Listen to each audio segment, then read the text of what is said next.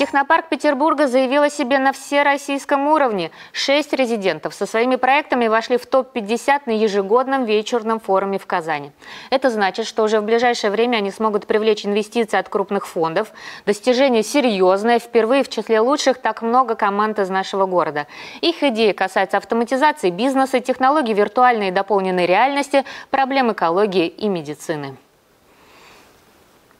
Я считаю, что это хороший значимый результат. Это говорит о качестве проектов, это говорит о востребованности тех проектов и той продукции, качестве и проработке тех проектов, которыми занимаются наши резиденты.